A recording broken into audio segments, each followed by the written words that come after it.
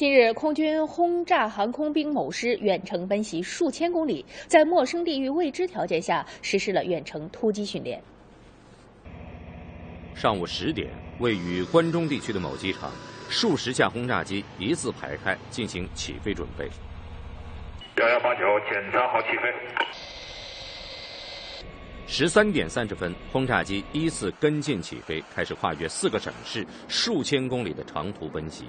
由于航线距离较长，在整个飞行过程中，气象变化非常明显。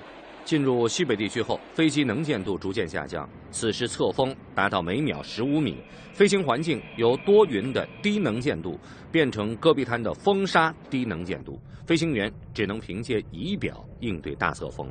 风沙、大侧风以及空中强烈的扰动气流，形成了对此次攻击最主要的不利因素。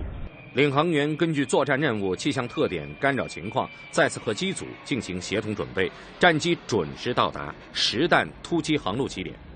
幺幺八九，请求进入攻击航路。可以。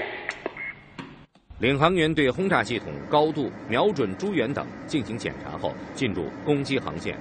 发现目标。攻击一次到位，准确命中目标。